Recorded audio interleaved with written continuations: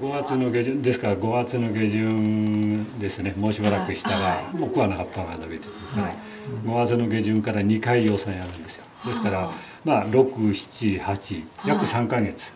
約3幅ですよね、だからこれだと古いタイプのものはこういうふうにして枠の8段とかで低いあの広いですけど新しいものはこういうふうに狭くなっていく。Uh, this is designed, especially designed for uh, silk producing. And uh, this shelf, uh, uh, this is adjusted to this, uh, the, uh, the shelf height. Yes, shelf yes. height. So, yeah, so s- from the beginning, silk was produced in this very house, yes. And there are many shelves uh, lining on this floor. In this case, uh, the height, uh, we don't need the height. No, no, no. So no, we can put a lot of large Yes, amount, yes, uh, yes, number of yes. silkworm here. ですからここへもうこういう養蚕材がずっと何列も6列も7列もですから、ええですから。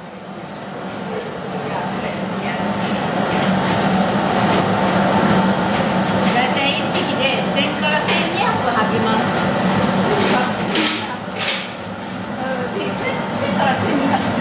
1キロちょいですね。1匹で大体メーターですメーター。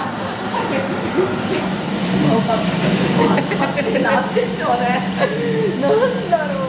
いや、that that one is uh, normal normal cotton. 2匹入ってます。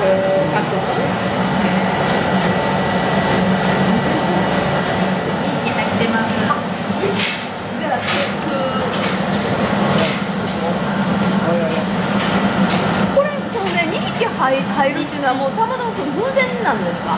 いやこれは結局最初から2匹あの同じ部屋に出てするんで。で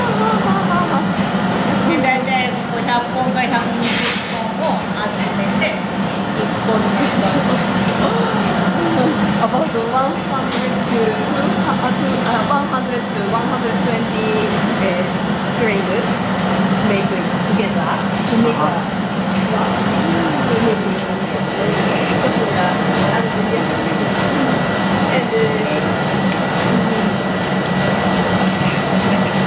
and the first is uh, she yeah yeah she is uh, taking from the